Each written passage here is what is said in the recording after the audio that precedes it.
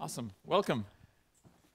Um, what would be great is to just take a couple of minutes and uh, go around and tell us a little bit about your journey here and some of the ways that you've been involved in the education space and uh, what excites you about the future of education. Okay, well, um, my in terms of my journey here today to here, um, uh, Kiwi Connect. My partner works at Kiwi Connect, so that was sort of the beginning, the introductions. I've spent the week here, uh, really listening in to what's uh, what's different in each in each group um, each day. There seems to be a slightly different crowd. Um, so my journey here to Education Day today at Kiwi Connect um, has kind of been like a build-up of sort of checking out each day and seeing how they vary in the crowds as much as anything has been interesting.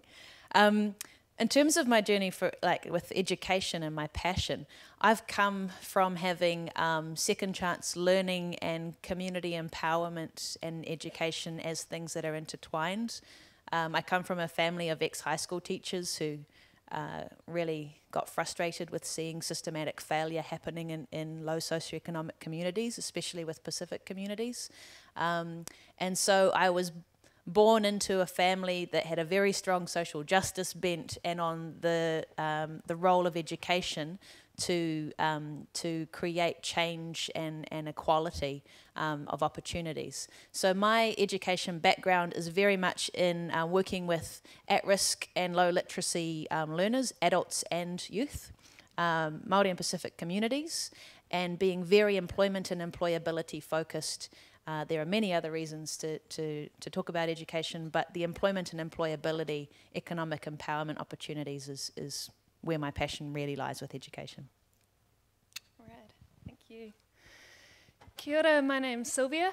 Um, and I was thinking, I guess it's always in these introducing ways, is there's so many different hats and lenses that you can bring to a conversation. Um, so I thought I'd just touch on a couple ones. Um, the very first one is I'm a Wellingtonian, and so I thought I'd just sort of touch to Wellington and welcome all of you who have come from overseas and from outside of Wellington. Um, I grew up in Wellington, and I guess though then the other one that I want to introduce myself as on the stage is as a daughter and it's really nice to be on the stage with my mother. And it's also really nice to be sitting next to um, Brian and Matthew's mum. So it's really nice to think of family as an introduction here as well, because I think when we're talking about education, I think you know you, you get your first education from your family. Um, I think the, the next lens that I want to bring is I'm very actively engaged with the Enspiral Network, and I think that's a core lens that I currently bring to a lot of my work. Um, I think one of the questions we're asking at Enspiral is how does Enspiral do education? What, what are the core principles that we hold to that? And what is the core sort of impulse behind the education system that we're trying to create through the Enspiral lens? Um, and I guess the fourth sort of primary one that I would bring is through the lens of Chalkle. Um, is the startup that I'm working with with a crew out of um, Enspiral. And Chalkle on a very base level is really looking at the foundational infrastructure on how we can rewire the adult education system. So what we're looking at there is going, let's move the education system from an industrialized, batched, productized system into a human-centric, empowered system. And um, I can talk further on what that actually means on a real practical level with Chalkle, but that's my core work at the moment. But I guess fundamentally, what I really want to introduce myself as, as someone who sees education as the acupuncture point that I can use to make real systemic social change. If there's so many problems out there, and I'm drawn to so many of them food, tech, you know, politics, it's, it's, there's so many things I want to do, but there's a limited number of hours I have. And I kind of made the assessment that actually, if I'm going to focus all of my energy, where do I want it to focus? And I've decided on the education system because it's empowering human beings and enabling them to realize that the discovery of finding their own real potential is actually going to then mean that people can go out and change those systems themselves. So that's where I focus my, um, my work at the moment. Hi, everybody. I'm Denise, and as she mentioned, I'm mother of Matthew and Brian, so that's where my journey began. I think that's why I got a spot up here, too. uh, My, I'm coming more from a background as just your traditional public school teacher. I taught for a long time in Illinois. I taught middle school, language arts, and history. Uh, I grew up in Chicago, and everyone in my family, my mother, grandmother, all her brothers and sisters were all Chicago public school teachers. So they were on strike. This was the days of uh, allowing people who had individuals with disability acts, all, all fundamental changes that happened in the 60s around public education.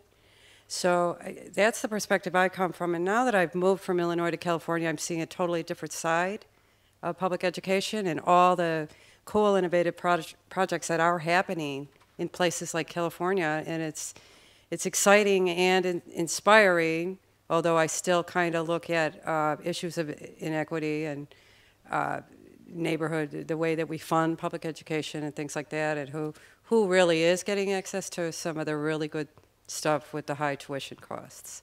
So uh, that's, but it is, there is room for me to be excited even in the public schools. I've been working uh, the last year in a school that's located in Silicon Valley, but it's a lower SES school. So they do get the benefits of lots of resources, grants from Facebook, things like that. Uh, so it's not resource, it's, it's uh, what are we going to do with the resources in the most effective way. So th- thank you. Thank you. My name is Doris, and I've landed on this spot through my connection with Silvia. she gets me into all these exciting spaces. Thank you for inviting me, Joseph. Um, I've grown up in Switzerland and had my formal education there until I was 22, coming to New Zealand. My um, qualification is science, but my profession has been in education. I've been involved with um, Waldorf Education, having um, founded a school 25 years ago and um, watched its development, um, focused on young children from kindergarten to 13, um, focusing on the actual unfolding of the child in a balanced way, in an unhurried, balanced way, drawing out, not so much popping in and watching for the balance of academic, artistic, and practical, truly experiential, experiential learning. I'm now witnessing all our pioneer children in their 20s, and I've witnessed my three daughters going through their schooling and in their 20s. My key interest and passion now is watching the questions of young people leaving school. I hear questions what do I need to learn to get prepared for this fast changing world? I watch and observe them with a sense of receiving a sense of pressure. Young people are asked, Who you want to be? What are you going to do? What are you going to study? They're experiencing this pressure while they're feeling a sense of disconnect and actually are dealing with the question who am I? Where do I belong to? How can I serve in this world? What is my contribution? The core human question. I'm interested of how do we deal with these softer values of education, the hard, the, the, the technical knowledge aspect of information is so well taken care of technology made it accessible online. It's marvelous. We can now focus on the complementary aspect of education, responding to those key questions. And I'm excited with my involvement with Orientation Aotearoa, which I feel responds to those questions, providing a space for young people, residentially one year, to explore that very core human question Who am I? And what do I need to learn to contribute meaningfully? Um, so my fir- first question to all of you is, uh, Silvia brought up human-centric uh, uh, learning, and there's this concept we've been playing around of community-oriented learning and, and education. I'm curious to hear what does that really mean? How should we start to understand such a way of approaching education?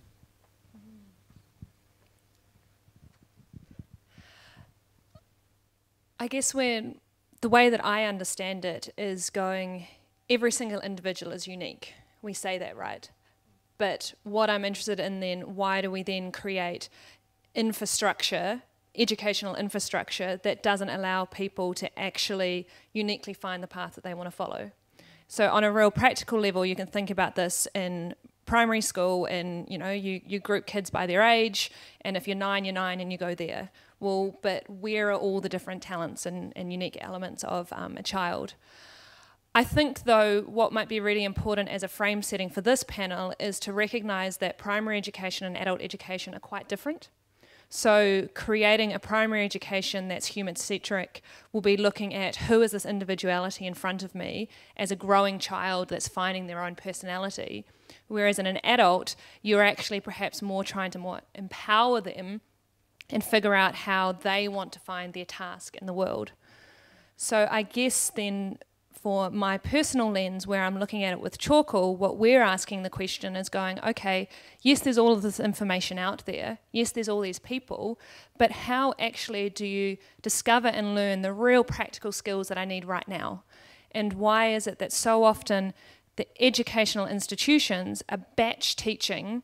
You know, media marketing managing, you know, something, which is really important. But at the same time, when things are changing so fast, what you learn at the beginning of your degree may, no, may no longer be relevant when you come out after three years. So, what we're trying to do with Chalkle is find the people in your community that actually have the skills that you need right now, and how do we connect them on a, on a human to human level. Part of the difficulty, I think, is is the as Catlin brought up. You know, it'd be nice if somebody had a product at the end of the year. I do see a lot of classrooms moving to a portfolio type basis for for grading or assessing, but it's really hard to measure a large number of students on their soft skills.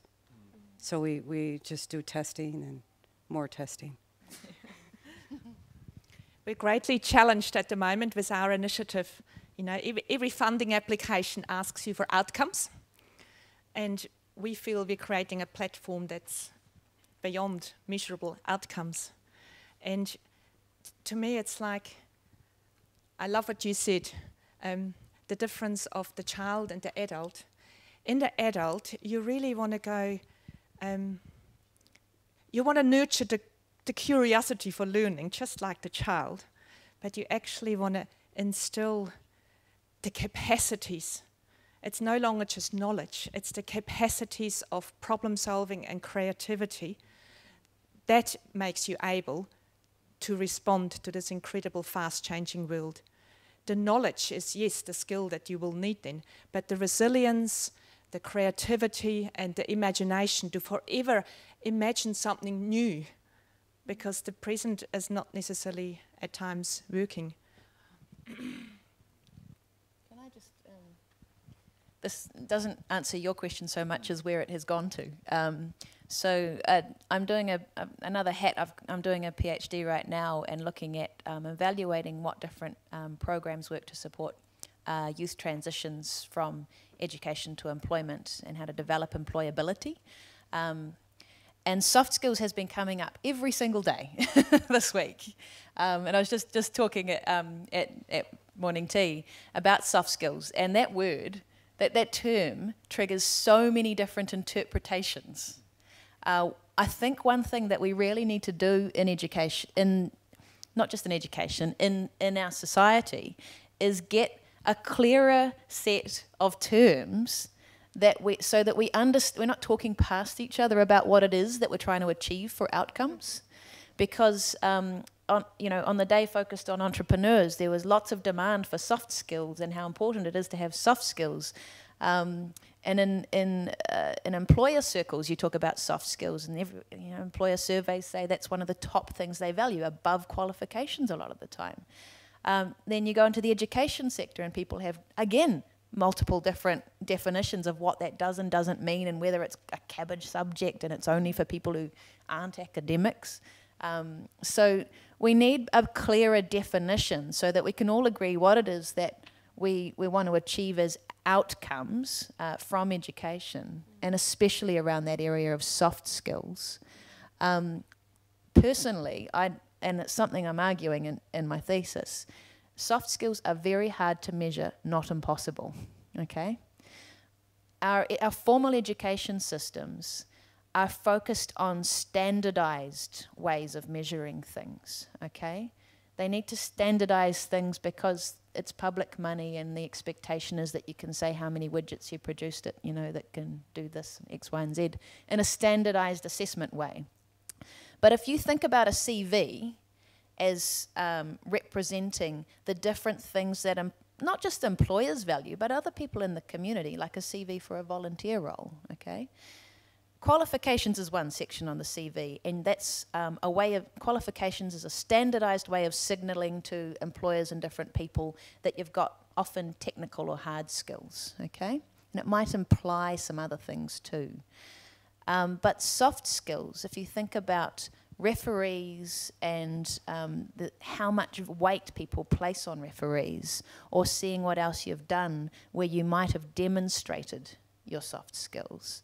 I think it is possible for us to talk about ways that we can develop um, uh, validation signaling um, so that we're, we're actually creating validation systems, as you kind of do on something like LinkedIn, okay, when you endorse people. Um, maybe we could talk more about that uh, between both the education you know, groups but and employer groups as well. Mm. sorry, that's not your question, that's where they were going. It's actually that's that's very relevant, and when we think about um, many of the soft skills, like um, uh, about last year, there was uh, a research that was done across technology employers around New Zealand, and what are some of the most important things that they're all looking for? And they say this is soft skills: leadership, communication, ability to work with one another, as the most important, even beyond academic qualifications. Um, so I'm actually curious to hear if anyone in this group has had any experience with ways of uh, measuring uh, and and tracking the development and work of soft skills rather than just um, transfer of information through classroom activities.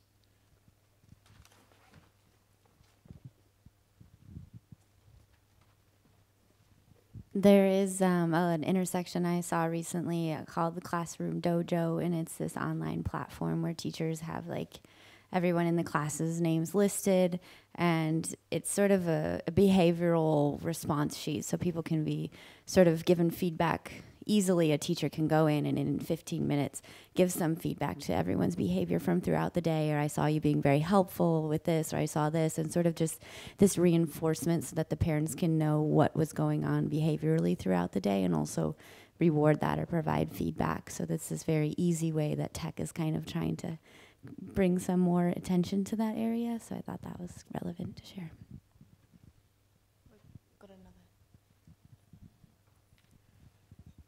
Uh, so we've at, at Dev Academy we focus a lot on soft skills and training it, and so there's lots of curriculum and things you can do. But the question about how to measure it and how to track it, the only solution we've got so far is really high touch and sort of teacher time so that we sort of have like a one to five teacher ratio, so that when people progress through, there isn't a formal test or anything, but there is a big amount of the teacher's judgment and a recommendation about what do you need to work on, where do you need to go.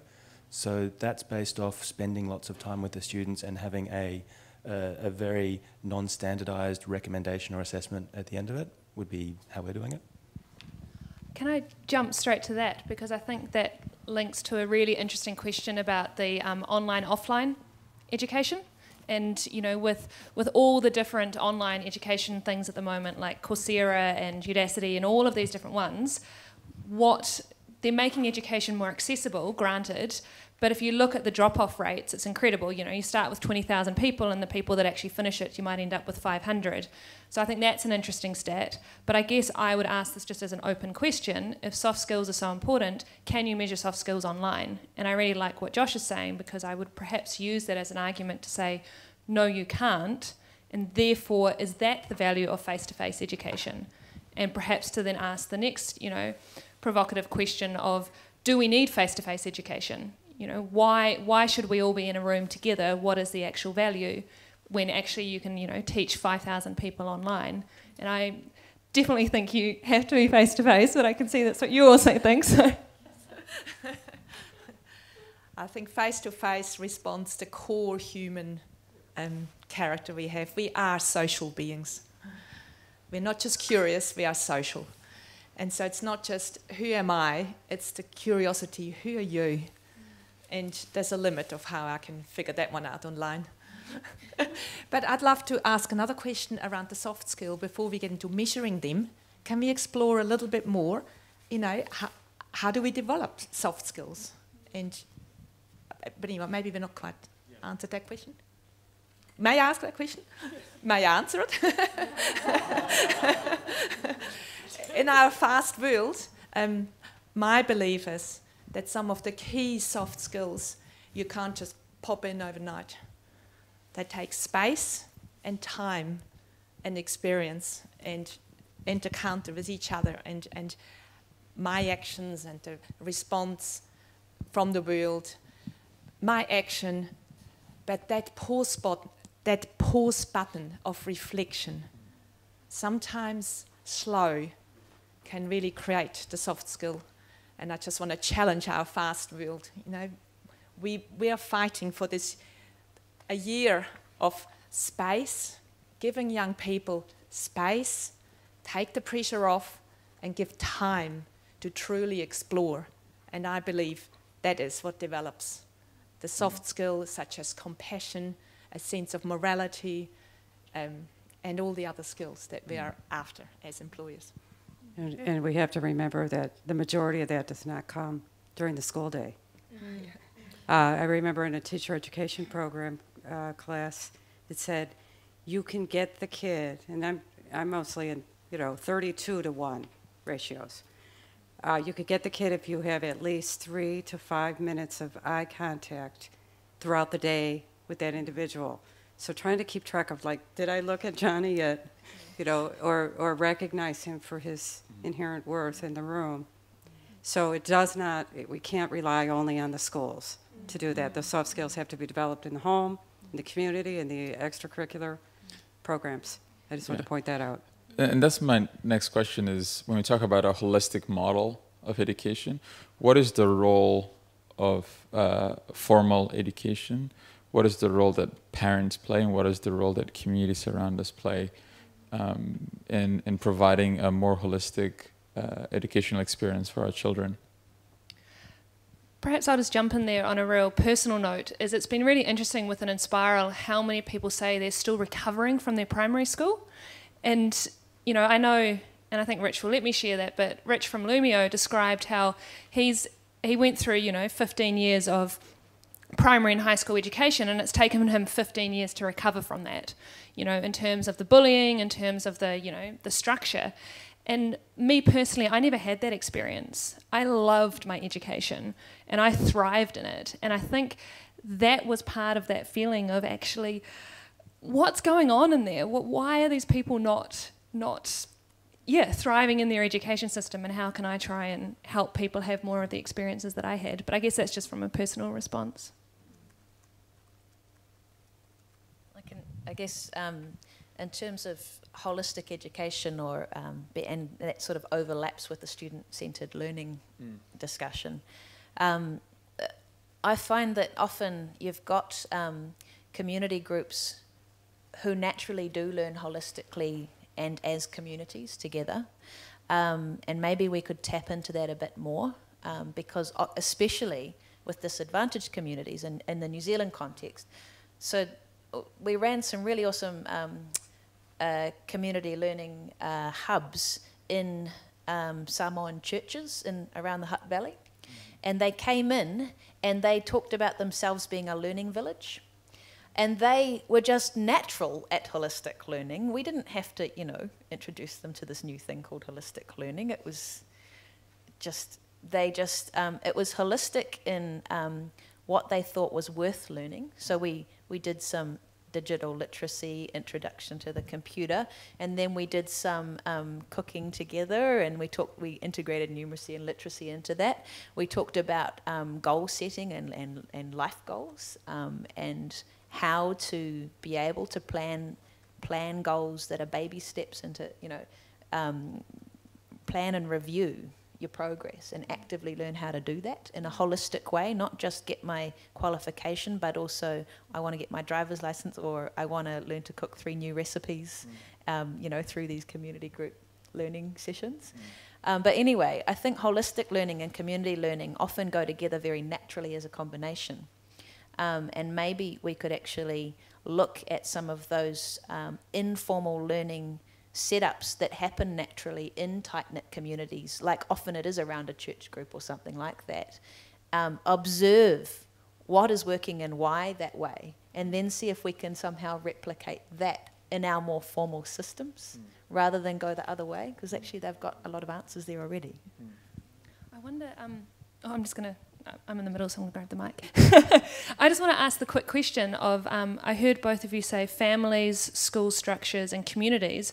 I'm really interested in what's the role of business and how do we get, if we're talking about real world education, why is it that you spend 20 years not interacting with business and then suddenly the next 20 years whether starting a business or working in a business and why isn't there that connection and you know what are the different with Chalkle right now, we're trying to see if we can partner with one of the biggest tech companies in Wellington to create alternative forms of professional development where we connect their staff with young people and their impulses around youth employment.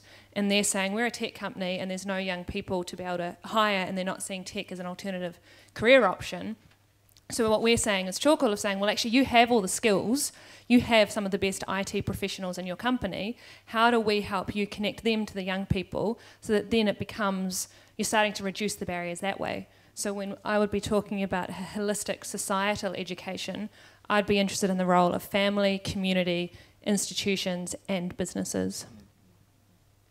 Uh, yeah, one other point I want to make about community schools is also uh, the need to be careful not to uh, have the schools segregated then because community in a, in a big city usually uh, the way they're arranged is ethnically. So, like for example, in a Hispanic neighborhood, you come out and all the smells of all you know the food carts and it, it, it, colorful murals and and they walk to school and it's it's beautiful expression of community. So, but we also have to make sure that they also get included in the global. Uh, connection. My view on holistic education is it's all of the above, you know, all what you've listed, and you forever look for the balance. Um, so when we say uh, you, have got a prodigy child in front of you that's a genius at, in, in math, you celebrate that, but a holistic approach would be to also look, oh, what else is missing? You know, do, you don't want an, an hyperactive or an antisocial um, math genius. You want an all-rounded math genius that's also good at growing your own potatoes.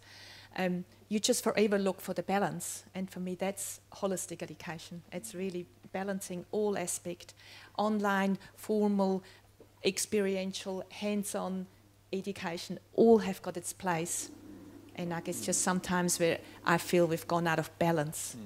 that it's formal, online, and the face-to-face experiential is is a little bit at risk. Hmm. We touched upon this in, in, the conversation so far, the topic of inequality.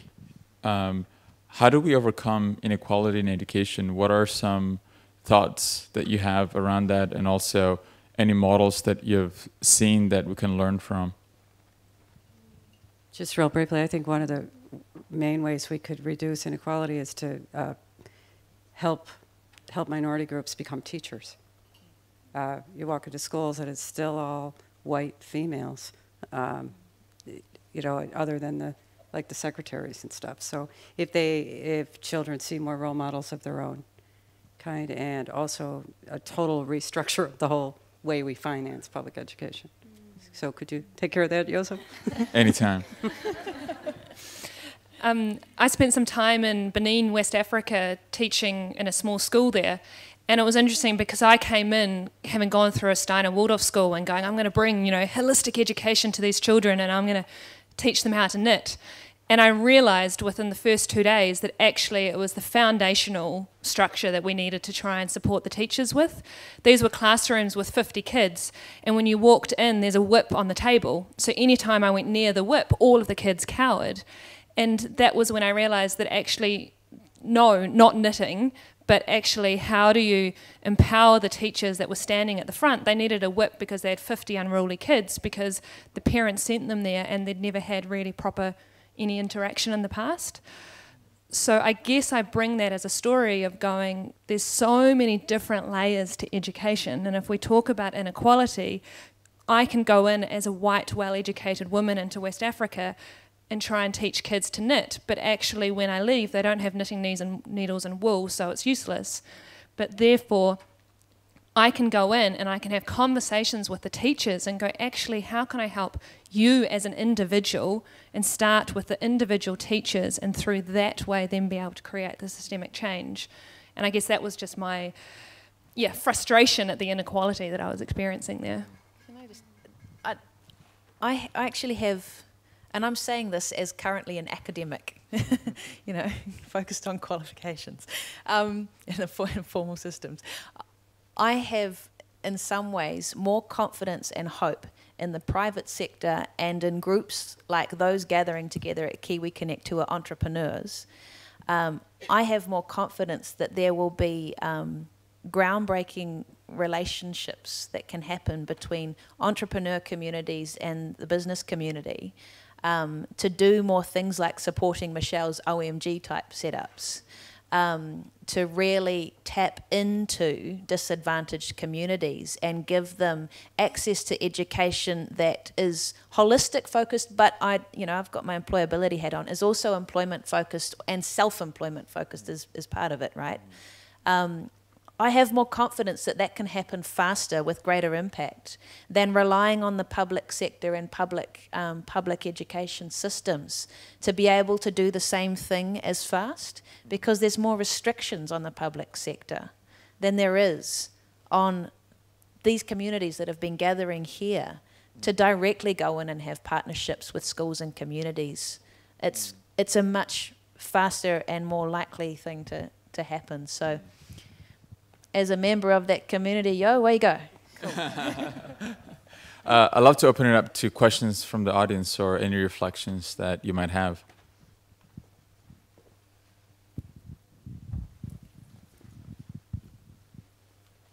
Thank you all for being here. Look at all the women on the stage. Um, so, one thing I just wanted to add into the space as a reflection in addition to the, um, it ties into the soft skills and it ties into the community driven approach is um, one way to, to kind of break down a format of experiential education is by um, things that students care about. So, and so the work that I've done is a lot around, I call it like a social change boot camp for teens. Um, but you take issues that affect them and you let them throw that out there on the board of like, so it could be environmental issues, it could be gang violence, it could be sexual abuse and sexual assault, it can be bullying, all these things that have affected them since they were young. And then you can do this in a whole school, you can do this in a community group, you can do this really anywhere with young people. Um, and then what it does is it inherently creates a safe space for students to be vulnerable because they're aligned based on certain things that they care about that have affected them. So it has them be more engaged. And then from that place, you have their attention, their attention span grows so much more. And then there's so much of, uh, um, you can use a multidisciplinary or multiple intelligences approach to be able to teach them multiple different things because you have them aligned in a group, in a community of people that care about addressing the same things.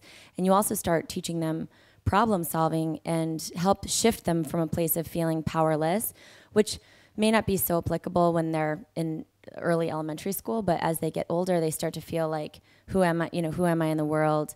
Um, what do I have to offer?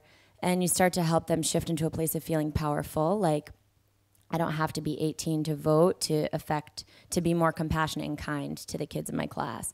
Um, so it's a, it's just kind of an interesting way um, to section out learning in, in an experiential way that helps them be rallying because a certain thing is has something that um, is something that's affected them deeply in their heart. So it's very like behavioral, heart to heart, human to human, um, which gives them more space to receive other types of skills. So just.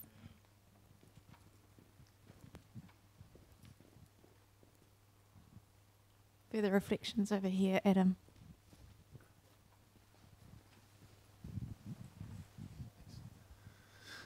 I just had a quick thought about something here. Is a, a question earlier about how to recognize soft skills, and um, that's something that I tried to figure out for myself. And for a long time, um, I I was listening to what other people were telling me I was good at, but I wasn't thinking about you know what what I what am I really spending my time on? What what are my skills deeply?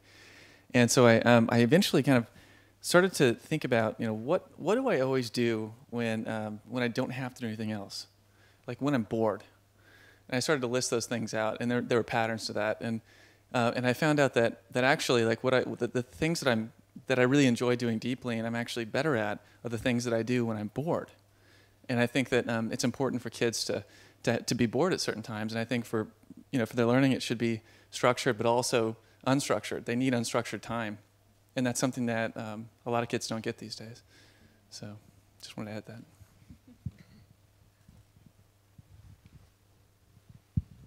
Um, I'd like to really just support Doris's insights, um, which to me are absolutely crucial. I've been involved for quite some time now with um, US-based tertiary students doing experiential education in various parts of the planet and some pretty wild places um, up in the Himalayas and Native American communities and, um, and Zapatista communities. Um, and the focus of that particular program, apart from an underlying theme of how do we shift perception, shift awareness, um, is follow curiosity, um, establish learning communities, um, look at all these gifts and how they can be challenged. And, and more and more, we, we have to grade to a certain extent to satisfy host communities, school communities back in the States. But outcomes, I think, are totally overstressed. Um, grading is totally overstressed. Um, how do these kids ask better questions? How do they see the connections? Um, what is their shift in awareness? How do they, they cope with silence? Um, the power of ritual, where you can actually open your heart to see and feel more clearly. Um, those can be expressed in all sorts of ways. You know, we get our kids to do some stunning academic work, but we also get them to be incredibly creative. Um, and of course, you can't grade creativity. You've got to give them 10 out of 10. Um, but the all-roundedness, I think, is what what really is the key element. And I think our, our ultimate test would be that if they haven't shifted their perception and awareness and to see connections, we've failed. There's a wonderful um, phrase that says, you know, we, we grow in the direction of the questions we ask. Mm. And I would put on top of that, um, how do we create an education system that empowers our young kids to ask non Googleable questions? Because so much is around, you know, I, I am just someone that I'm constantly asking questions. And often I will ask a hypothetical question that I'm living into, and the very first response is, oh, hang on, I'll just go check that.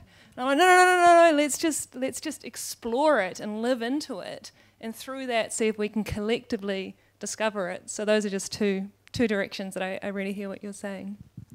I, I really like that hook. Sorry to just jump in there, but you know, throughout this discussion, I've been thinking, uh, you know, around what Doris was saying around uh, if we are going to have holistic education, we need the families, the the formal education, the communities, all surrounding um, this child and young person or adult in their journey. And I'm thinking, whose responsibility is it to look at all of these gaps and how are we going to ensure that that happens for every um, person that is, is part of the education system? And maybe um, what you're saying, Sylvie, as far as uh, encouraging people to ask the right questions might cover some of that. I Don't know what your thoughts are on that. Oh, I so strongly echo with all these responses. Um, I got two reflections. Um, yes, the curiosity, that's one thing, but I strongly echo, was it Adam? Yeah. Um, the boredom, yes. it's creating again that gap. And it's the opposite of overfilling.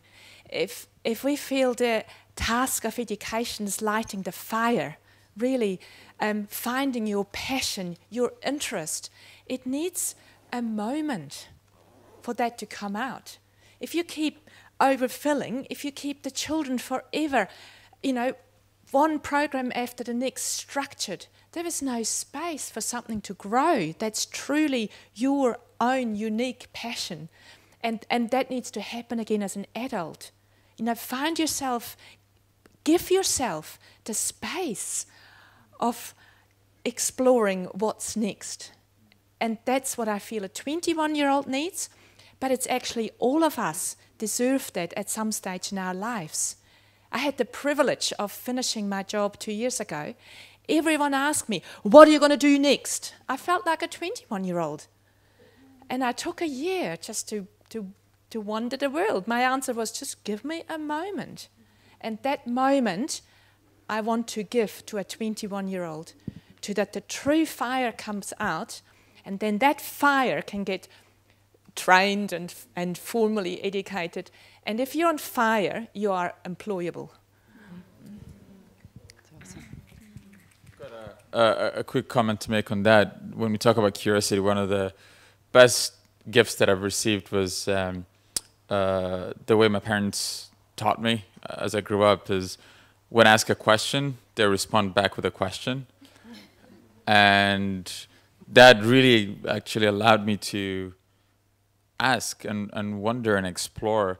And when we think about education, um, oftentimes we think about um, teachers being the sources of information and you're withdrawing information from them. I don't know if you've heard of uh, philosopher Paulo Freire from Brazil. Uh, he coined the term of um, a banking system of education, which is uh, throughout the year, the teacher is, um, uh, the student is withdrawing information from the teacher. You're basically depositing it, and then, and then the teacher then withdraws that during an exam. So it's just transferring information. And one of the themes that has come up over the last few days is just the exponential rate of change in everything that we're doing. We're creating so much information where everything is just becoming obsolete and, evolving over time. And so moving education from an information-based economy to a knowledge-based economy, knowledge being uh, something that's co-created and it's actively evolving. And that's a very much a pedagogical approach to learning where we have discourse and, and discussions and conversations uh, rather than working towards a very specific outcome. Uh, we're in the space of creativity using all the resources that are available to us. Uh, two two quotes that I that I love. Um, one is I can't remember who said it, but Google it.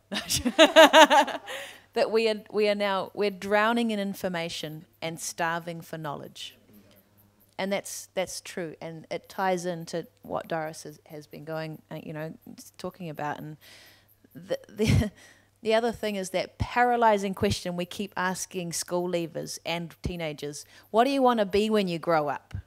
It's paralyzing to realize, you know, I've got to make a decision and commit forever. Can we please at least change that to what do you want to be next? Because it will be many things. Yeah, or even asking them a soft skill question like, what do you want to be like? I just want to respond to the ungoogleable question. Um, does it take away the wonder?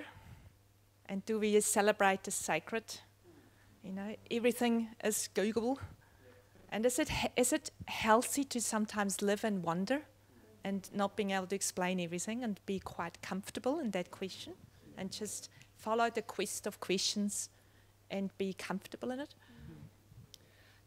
Because I, I think I want to jump off to that and bring it practical in terms of what, for example, some of us are trying to do with Enspiral. You know, if, if we take in it, and I think many of us are here right now because the current paradigm of society, there's many things that we might all personally believe is wrong. But how we're trying to shift that into the future, none of us know.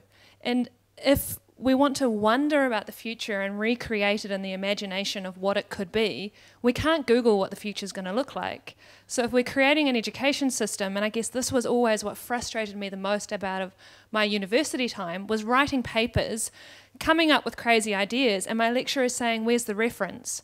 And I'd say, "Well, I don't know, because I made it up." And they're like, "No, no, no, you can't have that in your research paper because it needs to be reference of the past."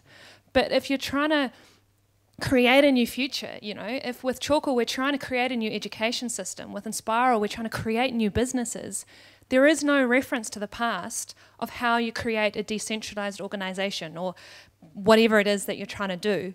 So where do we create that wonder, which then so tangibly comes out in my work and in many of our works as we're trying to create organizations and businesses that are trying to feed the future? Mm. Um, one, one last question. Yes.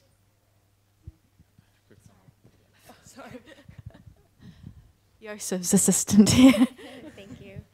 Um, I just wanted to kind of tie in a few things that we've kind of been discussing throughout our time here over the last five days. And um, this idea of creating wonder is something that I've been thinking a lot about. And um, a research group out of Berkeley University is doing a study right now on awe. And so I had an opportunity to hear them speak about this on Facebook's campus. Actually, they pulled all these leaders together, and this was for the Wisdom 2.0 event last year. And they're talking about how awe, the response of awe in the body, actually decreases inflammation response. So, in that space where the body is not in an inflamed position, you actually are able to learn. You're actually able to take in information. And so, thinking about that in terms of how do we create awe with the natural world and allow people the space to explore, and, and then this connection through food. Another member of our conversation said that the, the in entry point into caring about the natural world is so often through food. And so, we have all of these conversations we've been talking about for the whole week, and we bring this food and this awe and this wonder and this spaciousness and all of a sudden there's there's nutrients in the body the epigenetic epigenetics are in alignment to actually take in the information. So I think just pulling all of those together and just so happy that this conversation is here on a farm surrounded by food where we get to taste the food in a few minutes for lunch. So